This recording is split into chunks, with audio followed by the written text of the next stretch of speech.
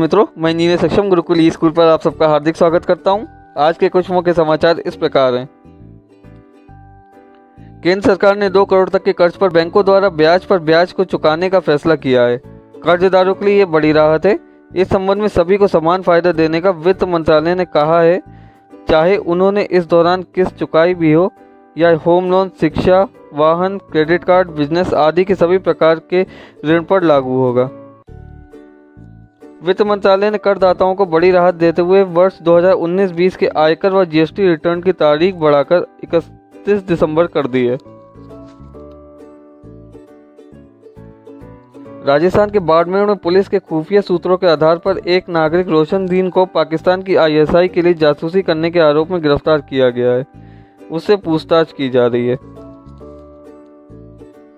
देश में प्याज की कीमतों में लगातार हो रही वृद्धि पर नियंत्रण के लिए नेफेड स्टॉक से राज्यों को प्याज भेजने की प्रक्रिया में तेज़ी लाकर इसकी बाजारों में उपलब्धता बढ़ाएगी। ये संस्था अट्ठाईस रुपये किलो पर प्याज उपलब्ध करा रही है। दशहरे पर प्रदेश के मुख्यमंत्री, उपराष्ट्रपति आदि ने देशवासियों को बधाई दी है। उपराष्ट्रपति वेंकैया नायडू ने इस त्यौहार पर कोरोना के प्रोटोकॉल का पालन करने की अपील की है। फ़िल्म निर्देशक महेश भट्ट व अभिनेत्री अमायरा दस्तूरा ने मॉडल लवीना लोध के लगाए गए आरोपों का खंडन किया है। लवीना ने दोनों को बॉलीवुड में मादक पदार्थ गिरोह का मुख्य हिस्सा बताया है। पाकिस्तान की संसद में चीन पाक आर्थिक गलियारे सीपीईसी प्राधिकरण की कानूनी वैधता पर सवाल उठाए गए हैं। इसमें कहा गया है कि इसकी 180 दिन विस्तारण सीमा जून में समाप्त हो गई तो ये अब वैध कैसे है?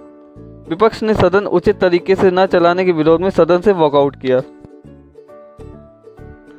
काबुल में एक शिक्षक केंद्र के पास आत्मघाती हमले में 18 लोगों की मौत हो गई है।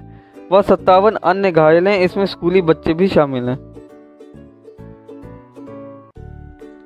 बिहार चुनाव में प्रचार हेतु लगे भाजपा के 30 स्टार प्रचारकों में से पाँच लोग कोरोना संक्रमित हो गए हैं। इसमें शहनवाज हुसैन, राजीव प्रताप रूड़ी, सुशील मोदी के बाद अब महाराष्ट्र के पूर्व मुख्यमंत्री देवेंद्र फडणवीस भी शामिल हैं। अगली खबर खेल जगत से है। आईपीएल में कल सनराइजर्स हैदराबाद को पंजाब ने 12 रन से हराया। दूसरे मैच में कोलकाता ने दिल्ली को उनसठ रन से हराया।